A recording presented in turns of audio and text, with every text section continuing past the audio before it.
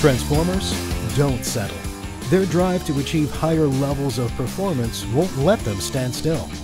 After 15 years on Plex, this manufacturer continues to push in their pursuit of excellence. Recent plant floor integrations resulted in improved inventory, reduced scrap, and improved cycle times. That's why they're racking up awards, making them the most decorated Tier 1 in the heavy truck market.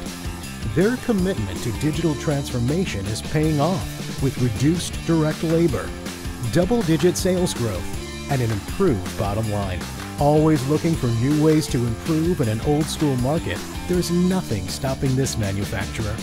This year's Transformer Impact Award goes to Superior Trim.